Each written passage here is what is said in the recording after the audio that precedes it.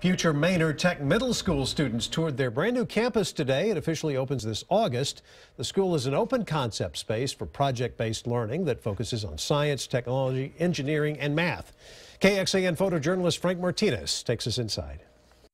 It's going to be a great experience for uh, kids in Manor ISD. The environment is different, the, the, the facility is different, uh, and it's giving kids a first chance opportunity to look behind the scenes is very exciting for me as, as a superintendent and giving those kids the first-hand experience in order for them to go back and, and, and speak to other students that are maybe coming to the building uh, about their experience uh, uh behind the scenes of this new construction here in Manor ISD. It's going to be a brand new opportunity.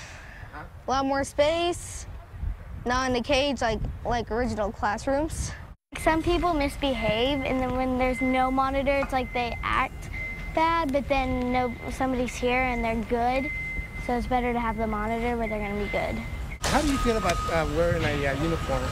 Um, I'm not that excited, uh, but I think it's good for students to learn how to dress properly and just follow like those kind of dress code rules.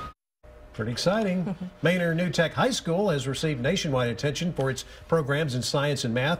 President Obama visited that school back in 2013. He met with students and teachers, and he spoke to an assembly in the school's gym. The president praised the school's emphasis on teaching skills for the jobs of the future.